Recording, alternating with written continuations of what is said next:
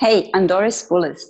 I'm an awareness and inner strength coach, and I'm helping women to be more confident, charismatic, and impactful.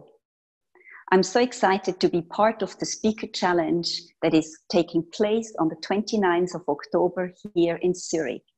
It's with Tulia Lopes, Stand Up and Speak Up, and I'm really happy to see you there to have the diversity together.